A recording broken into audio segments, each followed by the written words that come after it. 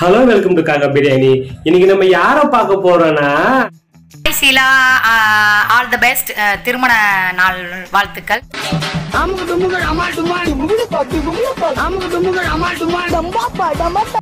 போயும் போய் ஒரு பிராங்கு கல்யாணத்துக்கு வாழ்த்துக்கள் சொன்னேன் மங்கனி சூர்யாவோட வீடு தாங்க பார்க்க போறோம். எந்த ஒரு விஷயத்தையும் பிளான் பண்ணாம பண்ணா இப்படித்தான். பிளான் பண்ணி பண்ணணும். ஓகே கண்டிப்பா வாழ்க்கையில நீ இப்ப இருக்கிற மாதிரி எப்பவுமே சந்தோஷமா இரு. அந்த பொம்பளை சந்தோஷமா தான் இருக்கு. வீடியோ பாக்குற நாங்க தான்.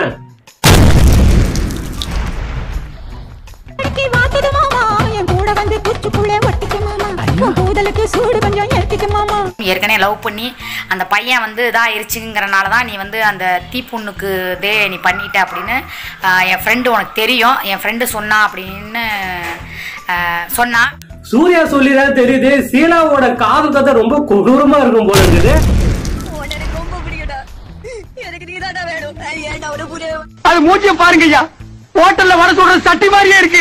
பரவாயில்ல லவ் பண்ணி கல்யாணம் பண்ணிக்கிட்டீங்க அப்படின்னு சொல்லி நீ சொல்றப்ப கேட்குறப்ப ரொம்ப சந்தோஷமா இருக்கு. நான் சாரி முடியுமா அவங்க லவ் பண்ணி எல்லாம் கல்யாணம் பண்ணிக்கல. பிராங்க் பண்றதுக்காக கல்யாணமே பண்ணிருக்காங்க அந்த மாதிரி தான் இப்ப ஓடிக்கிட்டு இருக்கு. நான் முழுசா பார்க்கல. இது யார் இந்த பையன்? சரி ஷூட்டிங் போன இடத்துல யாரோ எடுத்து போட்டிருக்காளோ அப்படின்னு நினைச்சேன். ஆமா ஆமா ஷூட்டிங் போன இடத்துல தான் பிராங்க் பண்ணிருக்காங்க என்ன ஃபுல்லா ட்ரெண்டிங்காக தான் ட்ரெண்டிங்காக என்ன வேணாலும் பண்ணலாம் போல இருக்குது. மார்க்கெட்ல விலை போகாம இருக்கிறதுக்கு நான் என்ன முத்திர கத்திரிக்காவா தம்பி ஒரு விஷயம் நல்லா தெரிஞ்சுக்கோ. சீலாவை வந்து திட்டுறாங்க பேசுறாங்க அப்படிங்கிறது வேற. அதையும் தாண்டி பெண்களுக்கு ஒரு பிரச்சனைனா கண்டிப்பா வந்து நம்ம மக்கள் தப்புனா திட்டம் செய்வாங்க. அதே மாதிரி ஒரு பெண்ணுக்கு வந்து துரோகம் பண்ணியிருக்காங்கன்னா கண்டிப்பா மக்கள் சும்மா விட மாட்டாங்க. ஆமா தம்பி நீ பிராங்காக தான் அந்த சீலா புள்ளைய கல்யாணம் பண்ணிருக்க ஆனா மக்கள்லாம் சும்மா இருக்க மாட்டாங்க. உண்மையாவே உனக்கும் சீலாக்கும் புடிச்சு தாலி கட்டி விட்டுருவாங்க. பாத்துக்கோ ஜாகிரதை நீ இன்னைக்கு தான் கல்யாணம் பண்ணியே பண்ணியிருப்பேன்னு நினைக்கிறேன். காலைல பத்து மணிக்கு தான் கல்யாணம் ஆச்சு. அப்படிங்கிற மாதிரி சீலா சொன்னா. காலையில பத்து மணிக்கு கல்யாணம்னா எப்படியோ நைட்டு பத்து மணிக்கு சாந்தி முகத்தண்டா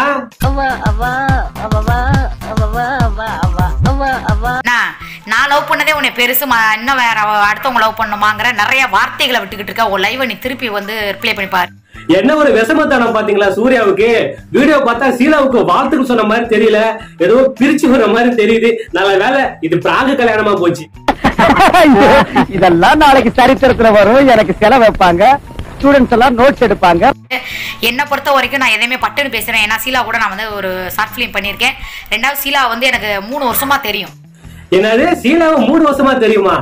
ஐயோ அது பிராங்குக்காக மேரேஜ் பண்ணிட்டு கூட தெரியாம இந்த மாதிரி வீடியோ போட்டுட்டு இருக்க. இதெல்லாம் முடியாது. அது பிராங்க் பண்ணிருச்சு. இன்னொரு வீடியோ போட்டு கிளி கிளின்னு கிளிக்கிற சீலாவை அதெல்லாம் நாங்க பார்த்து ரசிக்கணும். உனக்கு சப்ஸ்கிரைபர் கூடும். எனக்கு சப்ஸ்கிரைபர் கூடும் அப்படின்னு சொல்லி ரெண்டு பேரும் சேர்ந்து பிளான் பண்ணிருக்கீங்களா ரொம்ப மோசமா பேசுவேன். ரொம்ப அசிங்கமா பேசுவேன். சூர்யா எந்த அளவுக்கு அழகா இருக்கணும்? அந்த அளவுக்கு ரொம்ப கேவலமா பேசின பொண்ணு. புள்ள ரொம்ப நல்ல புள்ள ரொம்ப ஒரு ஜாலியான ஒரு பொண்ணு. அந்த பொண்ணுக்கு சூது வேணா அந்த மாதிரிலாம் தெரியாது. ஏன்னா குழந்தைத்தனமா அவளுக்கு வயசு முப்பத்தி ரெண்டா இருந்தாலுமே ரொம்ப குழந்தைத்தனமா இருக்கக்கூடிய ஒரு பொண்ணு. போதும் சூர்யா போதும். ரொம்ப நெஞ்ச நக்கிற மாதிரி இருக்கு. இதெல்லாம் உனக்கு செட்டே ஆகல. சொன்னதை சமத்தா கேட்டுக்கிட்டீங்கன்னா வரும்போது குச்சி மிட்டாயும் குருவி ரொட்டியும் வாங்கிட்டு வருவேன். ஓகே அதனால நான் என்ன சொல்றேன் அப்படின்னா நீ இந்த யூத் மாதிரி வாழ்றதை விட்டுட்டு குடும்பமா கல்யாணம் பண்ணிட்டோம் சீலாவை அப்படின்னு சொல்லிட்டு நீ வாழணும். நாளை பின்ன வந்து குடும்பம் நடத்தி கொஞ்ச நாள் கழிச்சு இல்ல அப்படி இப்படி அது இது தக்காளி இப்பதான் கல்யாணம் ஆயிருக்கு. சூர்யா பாத்தீங்களா? டைவர்ஸ் லெவலுக்கெல்லாம் பேசிக்கிட்டு இருக்கு.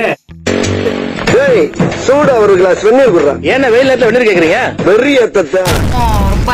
ஏதோ சீலாக்கு வாழ்க்கை கொடுத்தனால நீ பெரிய இது மாதிரிலாம் பேசிக்கிட்டு இருக்க. நீ என்ன வாழ்க்கை ஒரு வாரம் கூட ஆகல. ஒரு நாள் ஆகல. இருபத்தி நாலு மணி நேரம் ஆகல. அதுக்குள்ளேயே நீ ரொம்ப அடமெண்டா பேசிட்டு இருக்க. என்னடா தம்பி அக்காவுக்கு கோவத்தை பாத்தியா நீ பிராங்க் கல்யாணம் பண்ணாலும் சரி உங்க ரெண்டு பேருக்கும் டைவர்ஸ் கன்ஃபார்ம்டா அந்த புள்ள ஒரு அப்புறாணி புள்ள. சரியா? அதனால நான் போறியா இருந்திருந்தா நான் பட்டுன்னு பேசிடுவேன் நான் அப்பெல்லாம் யோசிக்க மாட்டேன். அந்த புள்ள ரொம்ப வெகுளியான புள்ள. நீ முதல்ல அந்த பொண்ணுக்கு வாழ்க்கை கொடுத்ததுக்கு ரொம்ப நன்றி அப்படின்னு நான் சொல்லுவேன். நான் முழுசா மனசார சொல்ல மாட்டேன். அதானே? எப்படி மனசார சொல்லுவாங்க சூர்யா ஆண்டி? அதாவது போயும் போயும் வயசு பையன் கூட சீலாவுக்கு கல்யாணம் நம்புற மாதிரியா இருக்கு? சூர்யாவுக்கு கொலகாண்டு ஆகுமா ஆகாதா? நம்ம ஊருக்கு நாய் பிடிக்கிற வேன் வரட்டு கண்டிப்பா உன்னை நான் புடிச்சு கொடுத்துறேன். நீ வாழ்ற வாழ்க்கையை பார்த்துட்டு தான் நான் உனக்கு சொல்லுவேன் சரியா? அவ கன்சீவ் ஆகி ஒரு குழந்தை பிறந்து வளகாப்புக்கு கண்டிப்பா நாங்க எல்லாருமே வருவோம். அடேங்கப்பா இப்பதான்ப்பா கல்யாணமே ஆச்சு. அதுக்குள்ள வளகாப்புங்கிறாங்க குழந்தைங்கிறாங்க செம்மந்தங்கிறாங்க ஐயோ சூர்யா முடியல எங்களால.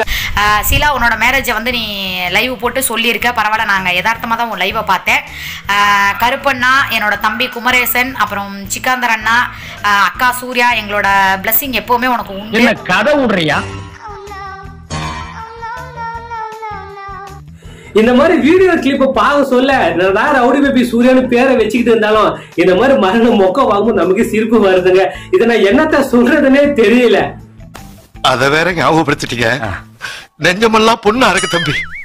இப்ப நம்ம மெயின் மேட்டருக்கே வந்துடலாங்க. காலையில தான் சீலா ஒரு வீடியோ ஒன்று பிடிச்சி எங்க கல்யாணம்னு சொல்லிட்டு ஒரு வயசு பையன் கூட கல்யாணம் சொல்லிட்டு லைவ் எல்லாம் போட்டுருந்தது. அதுக்கப்புறம் எங்களுக்கு நல்லா ஜாலியா இருந்தது. நல்லா போட்டு கிண்டு கிண்டுன்னு கிண்டலாம். ஒரு நாள் ரெண்டு நாளுக்கு அப்புறம் அவங்க உண்மையை சொல்லுவாங்கன்னு நினைச்சிருந்தா இன்னைக்கு அவங்க பாத்தீங்கன்னா உண்மையை ஒத்துக்கிட்டாங்க. இது பிராங்க் கல்யாணம்னு சொல்லிட்டு. ஏன்னா மக்கள் எல்லாமே ரொம்ப காண்டாவும் இருந்தாங்க. ஒரு பக்கம் சந்தோஷமாவும் இருந்தாங்க. ஏன்னா சீனாவுக்கு போய் ஒரு வயசு பையன் கட்சிட்டானே ஒரு ஆணவத்துல இருந்தாங்க. அதாவது எப்படியும் என்ன பண்றது? ஒரு கொளுத்தியாவது போட்டு உண்மையாவே அந்த பையனை பிடிச்சி உண்மையாவே அந்த பொம்பளை கிளம்பி வச்சலான்னு வந்து நிறைய பேர் தோரணையில வந்து பாத்தீங்கன்னா நிறைய வீடியோஸ் எல்லாம் பார்க்க முடிஞ்சிருந்தாங்க நிறைய பேர் அதான் நினைச்சுக்கிட்டு இருந்தாங்க. என்ன தெரியல இந்த மாதிரி சூர்யா கீரியா வீடியோ போட்டு இது உண்மை ஆக்கிட போறாங்க அப்படிங்கிற பயத்துல கூட அந்த பையன் வந்து வீடியோ போட்டு இதெல்லாம் பிராங்குங்க பிராங்க சொல்லி கும்பலிட்டு இருந்து அதெல்லாம் பார்க்க முடிஞ்சதுங்க.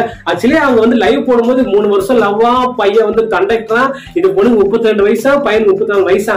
பையனுக்கு எப்படி இருபத்தாறு இருபத்தி நாலு வயசு தான் இருக்கும். ஆனா இதுக்கு முப்பத்தி ரெண்டு வயசு கன்ஃபார்மே அதாவது இந்த மாதிரி சர்ச்சையை கிளப்பி விட்டு ட்ரெண்டிங்காக பண்றது மிக மிக கேவலமா தெரியுது. இந்த மாதிரி ட்ரெண்டிங் பண்ண என்ன கிடைக்க போகுது? கூட ஒரு பத்து பைசா எக்ஸ்ட்ரா கிடைக்க போது அதுக்காக இந்த மாதிரி மனத்தை விற்கணுமாங்கிறது என்னோட கேள்வி. ஸோ ஒருவேளை உண்மையாவே சில கல்யாணம் நடக்கும் போது வந்து பாத்தீங்கன்னா ஏகப்பட்ட பிரச்சனை கன்ஃபார்ம் வராங்க. இதுதாங்க உண்மை. அதே மாதிரி இந்த வீடியோ பத்தியோ சூர்யா பத்தியோ உங்களோட கருத்துக்கள் என்ன சொல்லி மறக்காம இந்த வீடியோக்களை கமெண்ட் பண்ணுங்க. அதே மாதிரி காக்கா பிரிச்சு சப்ஸ்கிரைப் பண்ணி அந்த பெல் பண்ண கிளிக் பண்ணுங்க ஓகேங்களா? அண்ட் சீரியல் தட்டா பா பா நீ மாட்டிக்காத என்கிட்ட வந்து. சிம்பிளாவோ கதைய முடிப்பேன் அட்டில பூந்து. டேய் வாண்டடானி மாட்டிக்காத என்கிட்ட வந்து. ஏன்டி ஷீலா நாயே உன்னை திட்டக்கூடாது தான் இருந்தேன். இருந்தாலும் என்ன கமாண்ட்ல வந்து திட்ட சொன்னாங்க. மேரேஜ்னு சொல்லிட்டு பிராங்க் பண்ணிருக்கியா பிராங்க் அடி மானங்கட்டவளை விட்டா ஃபர்ஸ்ட் நைட்டையே பிராங்க் பண்ணி போடுவோம் போலயே